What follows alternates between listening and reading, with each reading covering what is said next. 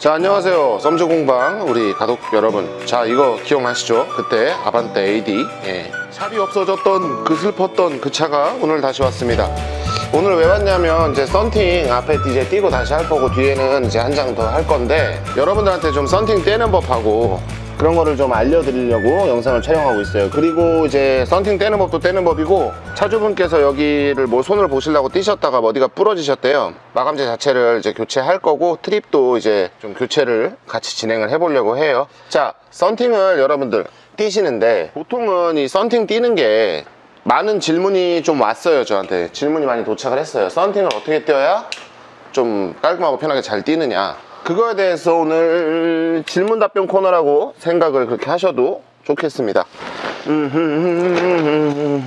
자 이게 어 자 이런 스팀 기계를 사용을 하고 있는데요 저희는. 근데 이게 없으시면은 자 스팀 나오죠? 이게 없으시면은 가정용 뭐, 뭐 스팀 청소기 같은 거 있잖아요. 아무거나 사용하셔도 상관이 없어요 스팀으로 필름에 이렇게 열을 줍니다. 스팀으로 이렇게 아 뜨거! 물 떨어진다 다리에. 필름에 열을 이렇게 줍니다. 열을 준 필름을 이제 어떻게 띄느냐. 그러면 이제 필름 끝을 이제 칼로 살짝 드러냅니다 이렇게. 이렇게 안 떨어지는 필름도 있습니다 열 줘도. 이러면 좀 심각해지는 거예요 일이.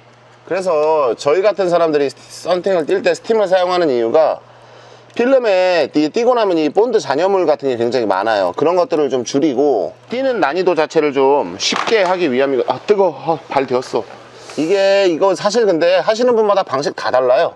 저는 스팀을 사용하는 경우고 스팀을 사용하지 않고 그냥 잡아 띄고 그 다음에 이제 약제로 해결을 보는 경우가 있는데 저는 스팀으로 해보고 그래도 본드가 많이 남으면 그때 이제 약품을 사용하거든요. 오 이거 쉽지 않은데? 오늘 필름 한 군데를 띄었으면 이렇게 스팀을 갖다 대면서 살살 띄워줍니다. 뭐 어떤 방식이 편하다 뭐 그런 거는 다 이제 개인 취향이니까. 와우. 네, 필름이 여러분 되게 안 떨어져서 지금 어우 손이 많이 아파요. 이런 경우도 있다는 거.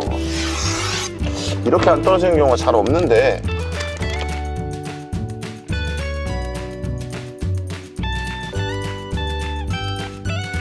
자 썬팅을 다 제거를 했어요. 근데 여러분 이렇게 보시면 본드들이 그래도 아예 안않 원래 스팀을 사용하면 본드가 최대한 덜 남긴 하는데 그래도 이렇게 좀 남고 그래요. 이런 것들은 좀 약품을 좀 사용해서 깨끗하게 재워보도록 할게요. 자 이제 약품을 뿌리기 전에 소중한 내 몸을 지키기 위한 도구들. 이게 되게 독하기 때문에 여러분들도 이런 보호 장비를 하셔야 됩니다. 소중한 내 몸 보호를 위해서. 아 진짜 눈 따갑고 이거 마스크도 이거 좋은 거 써야 돼요. 어, 그냥 싸구려 마스크 썼더니 안 되겠더라고. 자 약품을? 사용합니다. 이거 근데 진짜 조심하셔야 돼요 여러분. 피부에도 안 좋고 진짜 본드 녹일 정도로 강한 거는 몸에 좋을 수가 없죠? 네.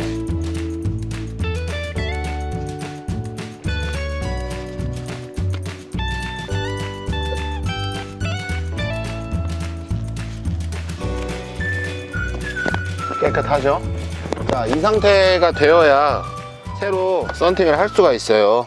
자, 조금 약품 이제 냄새도 좀 제거해야 되니까 우리 조금 있다가 썬팅을 해보도록 할게요. 자, 썬팅을 해봅시다. 이 냄새가 아직도 안 빠졌다. 여기까지 다 붙여드릴 거예요. 예, 성해 제거제 좀 뿌려드릴게요. 이 성해 제거제 한번 뿌려놓으면 좀 낫더라고. 자, 이제 여러분 썬팅 다 끝났으니까 여기까지 다 붙였어요. 예쁘게. 자, 썬팅 다 끝났으니까 이제 요거 이제 부서진 거랑 확인하고 트립이랑 그렇게 교체 들어갈게요.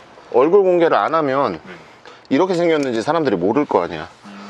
지금 나 생긴 거에 자신이 없단 말입니다. 어디가 부서졌네. 그냥 막 나오는데? 딱 고정돼 있어야지 이게 지금 땡기면 그냥 바로 나와버리는데. 어디가 부서진 건지 한번 봅시다.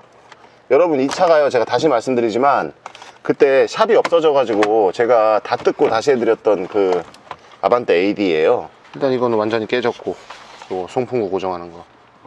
완전히 터져 나갔죠? 그 외에는 딱히 큰 문제는 안 보이는데 사장님이 빼다가 빡 소리 났다 그랬던 게 여기가 깨진 거다 송풍구. 이 나사를 어떻게 뺀대요 이거를 근데 부셔, 부시면서 배우는 겁니다. 뭐 저희는 뭐안 부셔봤겠어요. 저희도 초반에 이쪽 일을 배울 땐 엄청 부셔 먹어요. 니 차내 차 다 부셔 먹어요. 아, 내가 이런 거 진짜 내가 뜯기 싫어요. 진짜로. 내가 이런 거 내가 뜯는 게 참 싫어, 난. 봅시다. 어떻게든 해줬으면 하는 표정인데? 네. 속마음은 그래요. 저기 있는 게 불편해요? 아 너무 불편해갖고. 그래도 사장님은 그때 네. 어? 진짜 원했던 대로 해결이 다 되지 않았어요, 잡소리는? 아 그땐 진짜 막 무슨 그 고급차 타는 것만이 아무 소리가 안 나니까 잡아 뜯으면 빼, 빠, 빠지겠지 이러고 그냥 팍 잡아. 나오다가 송풍구가 여기 걸린 거예요. 아. 그래서 부러진 거야, 그거는. 어? 여기다 새 커넥터를 꽂아 줄 거고요. 새 트립에 맞는. 자, 이제 요게 문제입니다.